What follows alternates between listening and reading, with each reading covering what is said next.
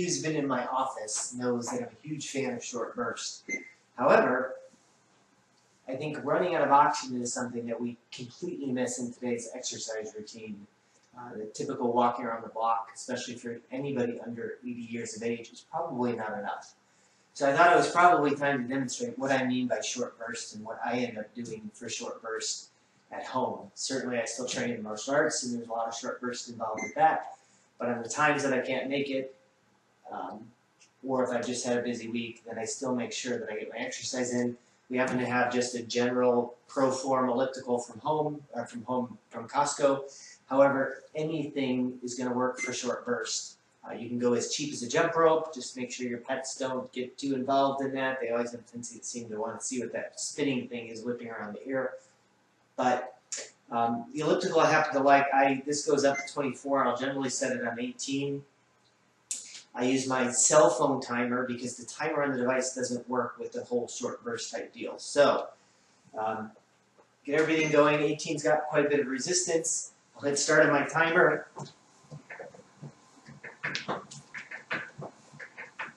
And I typically recommend 30 seconds, 10 sets of 30 seconds. And I'm using my arms and legs so generally quite a bit of work. Uh, my heart rate will typically get up around 170 or so. Um, I don't generally measure it, but when I have, it's usually up around there. But the idea uh, is to deprive yourself of oxygen, depending upon, really quite frankly, what I'm watching on Netflix and how much I want to delay, my rest time is generally however long it takes my heart rate to come back down to normal. Um, usually in the first set, I may only wait three seconds or so, just because I'm too lazy to hit stop on the timer. Um, so this case, I probably did about um, 45 second wait before the next set. On this, I happen to switch handles each time.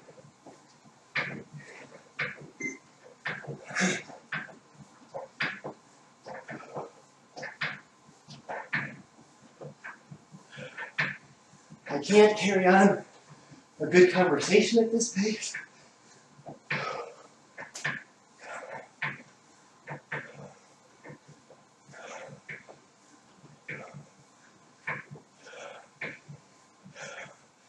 And I'm usually really,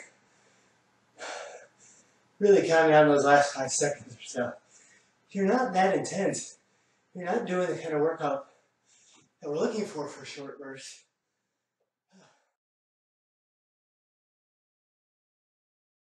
So I finished nine total sets. Um, working on my tenth one. Um, I consider this actively watching Netflix.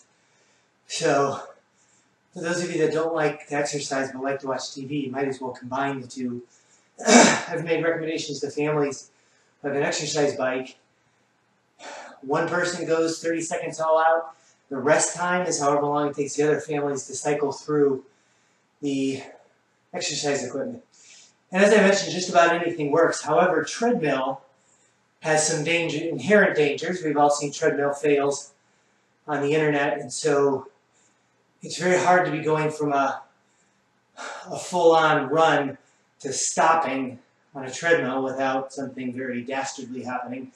So from a safety standpoint, uh, elliptical or, or, stationary bike works the best. So um, as I mentioned, this is the last set, still on 18. Um,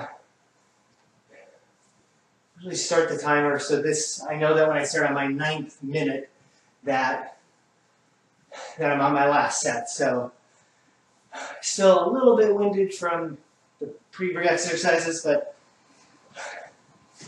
I'm really using my arms, pushing and pulling as well as my legs. I think that's the advantage of the elliptical. You do a much better job of burning out oxygen in your body, which is what we're trying to do.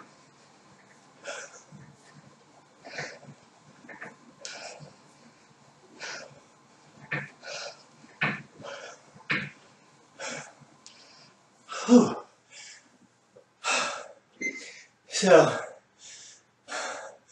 in general, when I talk about being short bursts,